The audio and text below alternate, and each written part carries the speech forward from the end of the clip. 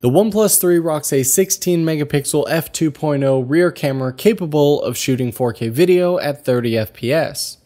It also does have slow motion video at 120 frames, but only at 720p. The camera does support RAW images, and the built in camera app gives you full manual control over exposure, aperture, ISO, and even focus.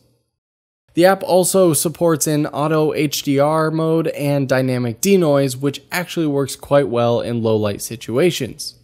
I have not yet noticed any photos that look almost too denoised when it starts to kind of look like an oil painting.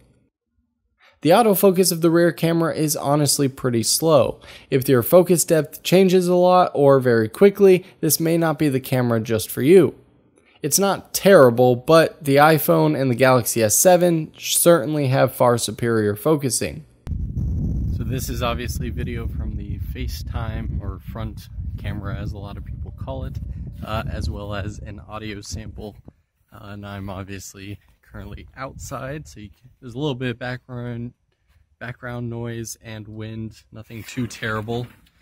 As I go inside, so you can see how lighting test kind of will change.